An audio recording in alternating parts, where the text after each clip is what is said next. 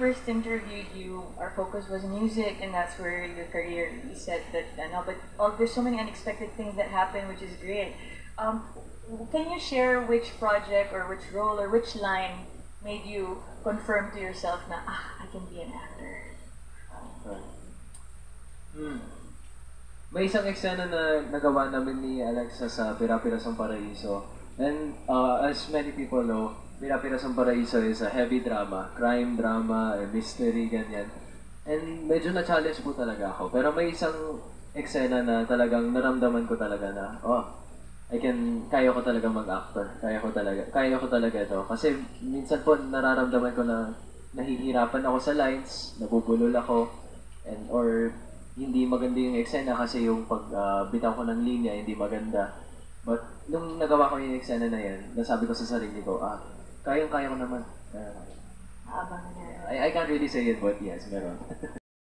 na with the likes of Daniel Padilla, Joshua Garcia, Donnie Pangilinan, etc. And how does it feel na mapabilang sa echelon ng mga kapamilya heartthrobs? Uh, do you feel pressure ba na mapabilang sa kanila, etc.? Yeah. Uh, yeah. Um, so, I wouldn't say na I, I'm, for, for me, I wouldn't say that I'm on the level of no, Nori Pangilinan, I'm in the level of Daniel Padilla, uh, sila, um, Polo Pascual. I wouldn't say I'm there yet. But sa akin naman po, I'm, I don't, I, yes, of course, nung una na I felt na pre, medyo pressured because, of course, I'm, I'm being compared to uh, many of the male artists out there right now. And for me naman po, it's, uh, let's see. For, me- for me naman, I'm working on myself naman, of course, uh, as a person and as uh, physically then I've been doing I've been doing I've been hitting the gym. And of course acting wise I want to be on that same level. And pressure wise, I think I'll be fine naman in the future. Pero we'll see.